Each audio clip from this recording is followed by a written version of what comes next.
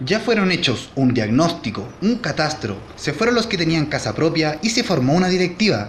A pesar de esto, las autoridades aún no pueden erradicar la toma de la calle Freibón en Calama, porque no cuentan con un terreno adecuado para el traslado de las personas.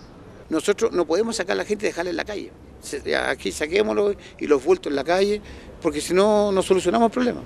Entonces, para solucionar el problema, lo que hice yo fue pedir al Ministerio de Bienes Nacionales me asignaran un terreno para trabajar con ellos en, la misma modalidad que tenemos en Antofagasta que se llama barrio transitorio.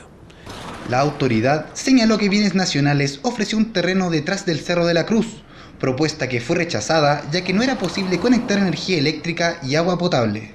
Por tanto, hoy día el Ministerio de Bienes, el Ministerio de Bienes Nacionales está solicitando la posibilidad de terrenos que estén mucho más cerca, con más posibilidades. Uno puede mirar aquí, está lleno de terrenos, pero no todos tienen la misma factibilidad de urbanización, todo eso. Ahora, esto no significa que lo vamos a dejar ahí, esto, esto es eh, para siempre, es barrio transitorio. Transitorio significa lo vamos a sacar de aquí, lo vamos a poner ahí, mientras tanto usted postula, ¿cierto? Y se pone a la fila donde están todos los comités.